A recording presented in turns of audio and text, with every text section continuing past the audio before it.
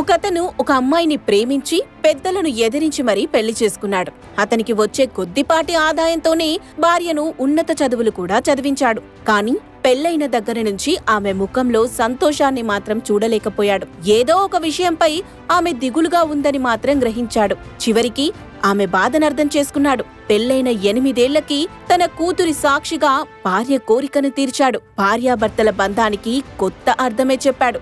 భార్య కోరిక భర్త తీర్చకపోతే మేం తీరుస్తామా? అందులో పెద్ద విషయం ఏముంది అని మీరనుకోవచ్చు. అయితే ఆ భార్య కోరికేంటో తెలిస్తే మీరు ఖచ్చితంగా షాక్ అవుతారు. ఆ భార్యాభర్తల కథ ఇప్పుడు సోషల్ మీడియాలో తెగ చక్కర్లు కొడుతూ అందరినీ ఆశ్చర్యపరుస్తోంది.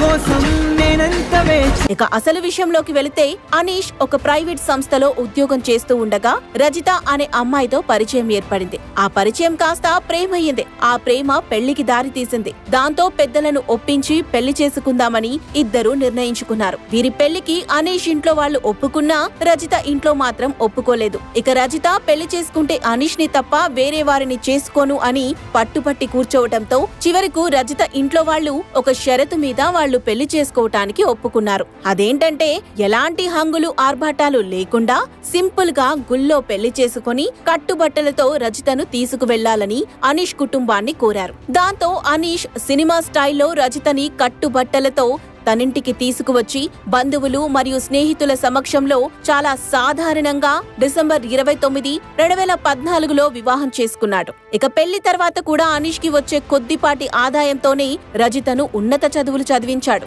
భర్త ఆసరాతో రజిత కామర్స్లో పీహెచ్డీ చదువుని పూర్తి చేసింది. పెళ్ళైన రెండేళ్ళకి వీరికి అమ్ము అనే ఒక పాప కూడా జన్మించింది. అయితే తాను కోరుకున్న వాడినే మనువాడినా పండంటి పాపకు జన్మనిచ్చి తల్లైనా తాను ఇష్టపడిన చదువు పూర్తి చేసినా కూడా రజిత మాత్రం ఏదో ఒక విషయంపై దిగాలుగా ఆలోచిస్తూ ఉండేది. భార్యలోని అసంతృప్తిని చాలాసార్లు గమనించాడు అనీష్. ఏదైనా పెళ్ళి వేడుకలో ఫ్యామిలీ ఫంక్షన్లో పాల్గొన్నప్పుడు కూడా భార్య మొహంలో ఒక చింత కనిపించేది అనీష్కి ఒకరోజు ధైర్యం చేసి నిన్ను చాలా ఏలుగా గమనిస్తున్నాను. నువ్వు దేని గురించో బాధపడుతున్నావు. ఒక భర్తగా నేను నీకేమైనా అన్యాయం చేశానా? లేదంటే నీకేమైనా మన సంసార జీవితంలో లోటుందా?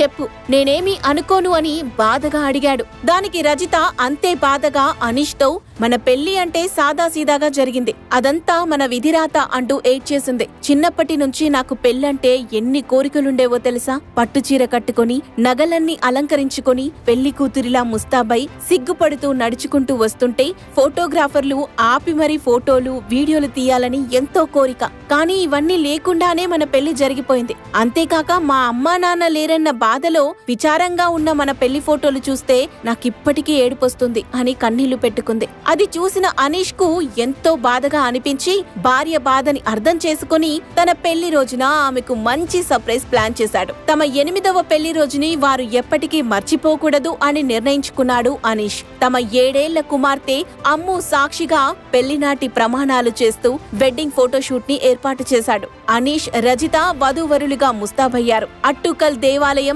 శంకుముఖం బీచ్తో సహా అనేక ప్రదేశాలలో ఫోటోషూట్ జరిగింది. ఈ ఫోటోలు కాస్త డిజిటల్ ఆల్బమ్గా మారిపోయింది. ఈసారి ఫోటోలో ప్రత్యేకత ఏంటంటే రజిత ముఖం చిరునవ్వుతో వెలిగిపోయింది. ఇలా తన భార్య కోరికని ఎనిమిదేళ్ళకి నెరవేర్చాడు ఈ భర్త. భార్య కోరిక నెరవేర్చిన ఈ భర్త ఎంత గొప్పవాడో కదా. మరింకెందుకు ఆలస్యం? మీరు కూడా మీ భార్య కోరికేంటో తెలుసుకొని త్వరగా నెరవేర్చేయండి. ఎందుకంటే కన్న వాళ్ళని తాను కన్న కలల్ని వదిలి మీకోసం మీ చెయ్యి పట్టుకొని మీతో బ్రతకటానికి వచ్చిన మీ అర్ధాంగి కోరికను కూడా నెరవేర్చకపోతే ఈ జీవితానికి అర్థమే ఉండదు. వెంటనే మీ భార్యతో కూర్చొని మాట్లాడండి. వారి కోరికను నెరవేర్చండి.